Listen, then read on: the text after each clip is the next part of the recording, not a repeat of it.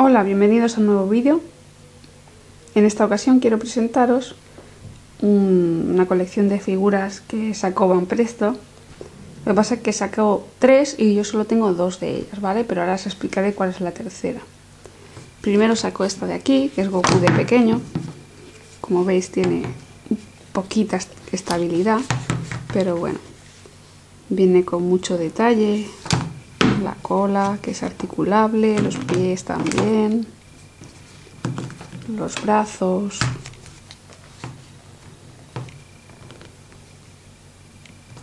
La cabeza también se mueve.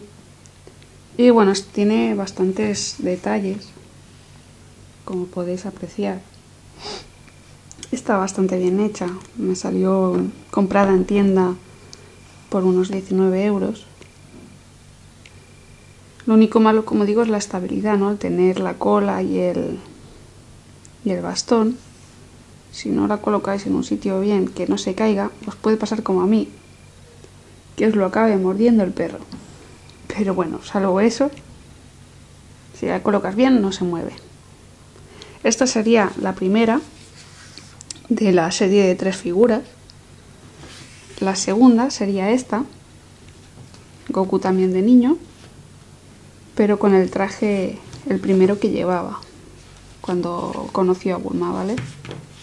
En esta ocasión lleva el bastón enganchado atrás, no se puede sacar.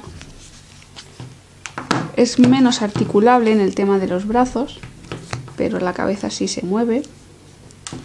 Y la cintura, a ver si puedo, ¿veis? La cintura también se puede mover.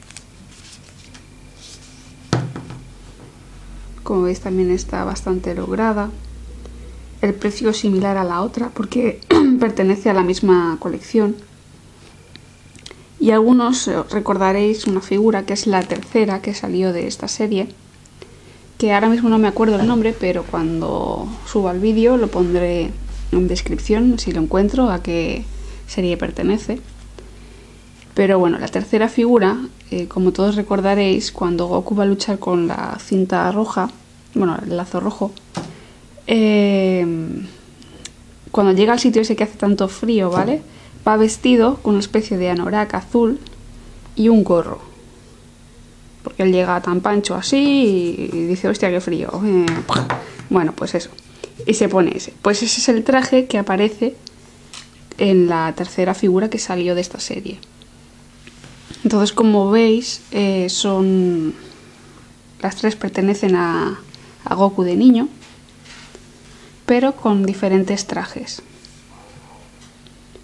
Y bueno, espero que os hayan gustado las figuras. No suelo subir muchas, porque tampoco es que tenga muchas, ¿no? Pero alguna tengo, así que si veo que os gusta el tema de las figuras, pues subiré las que pueda y las que tenga. Espero que os haya gustado el vídeo y nos vemos en el próximo. Ciao.